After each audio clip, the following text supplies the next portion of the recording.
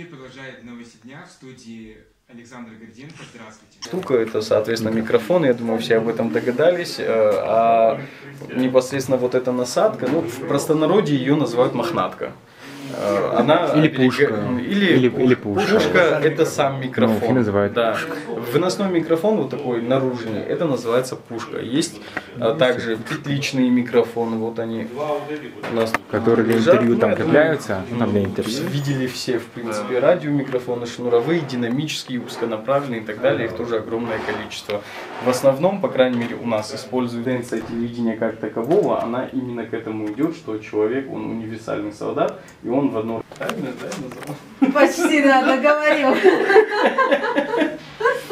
Э, Конкретно здесь, э, вот мое рабочее место, мы делаем каждодневный эфир программы «Доброе утро, Кабардино-Балкария». Э, Как я и говорил, самое главное чайник. Затем вышел в салон, чтобы посмотреть транспорт. Но в этот момент он произвольно покатился и все равно не зайдем, но тут внутри находится все сердце техническое нашего телевидения.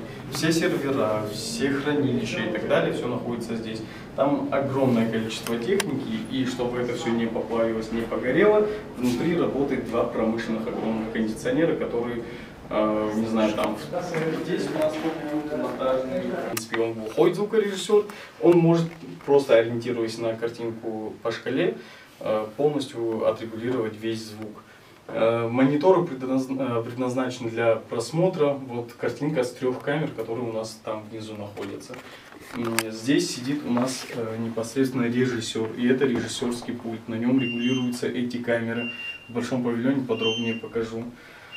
Вот эта чудо-кнопка, она отвечает за то, чтобы внизу Это загорелось.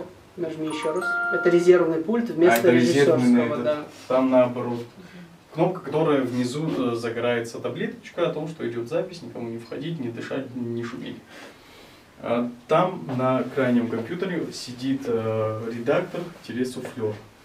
Он отвечает за то, что вот там будете внизу видит непосредственно корреспондент. Вот этот небольшой пультик, он прокручивает тот текст, который будет идти внизу. Если увидите, может, на суфлере это все будет крутиться. Э, В режиме реального времени все это корректируется, то есть э, во время выпуска новостей сюда может сесть человек, который набрать труля-ля, траля и редактор это будет читать. Ну тут в общем все.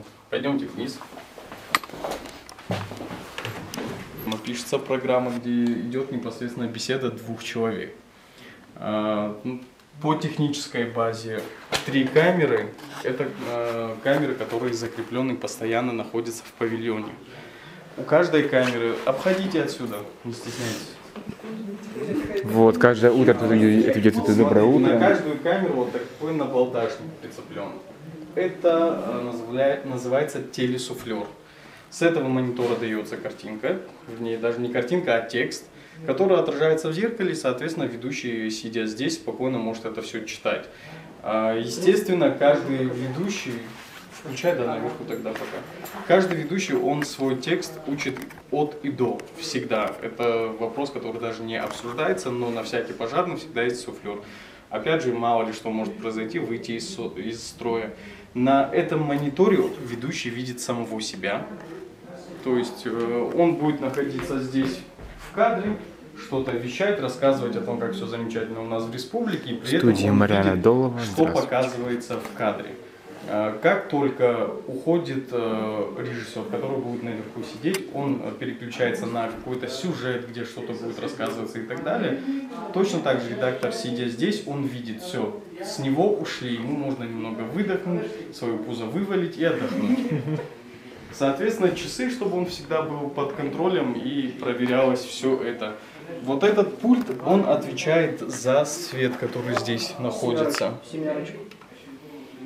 Это банк памяти для э, настроек 8 пунктов. На каждый из них можно вот подписать, для чего каждый, каждый пункт нужен, и сохранить сразу какой-то шаблон.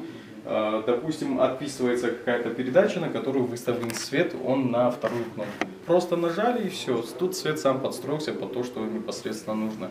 Весь свет он поднимается, опускается, регулируется, поворачивается, настраивается так, как это нужно под конкретную ситуацию, чтобы не было лишних теней, чтобы он не бликовал и так далее, и так далее.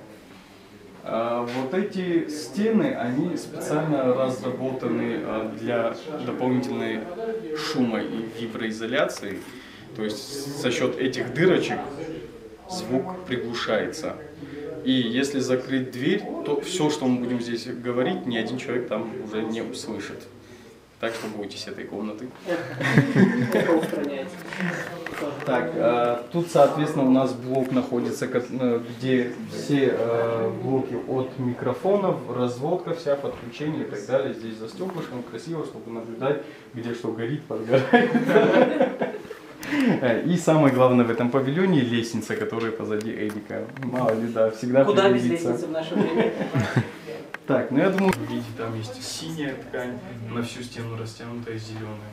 Э, Эта ткань, э, ну, у нас она называется рир-проекция или просто зеленка, мы ее называем. А, Я думаю, все смотрели какие-то фантастические фильмы и так далее. Они все снимаются в комнате, которая полностью оттянута вот таким зеленым материалом. Э, По итогу зеленый материал вырезается подкладывается абсолютно любой фон, который душе угоден и так далее.